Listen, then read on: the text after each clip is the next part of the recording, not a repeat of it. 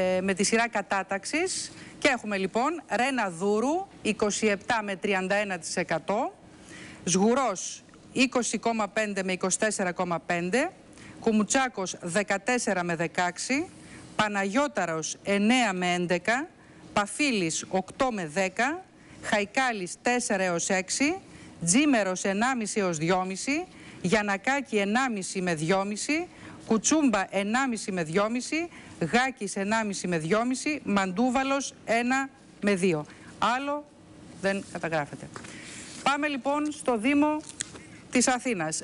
Γαβρίλης Ακελαρίδης 20 με 24, Γιώργος Καμίνης 19 με 23, Σπιλιοτόπουλος 15 με 19, Κασιδιάρης 14 με 17, Κακλαμάνης 7,5 με 9,5, Σοφιανός 6 έως 8, Καπερνάρος 3 έως 5, Κωνσταντίνου 1 έως 2, Κοντούλη μισό έως 1,5.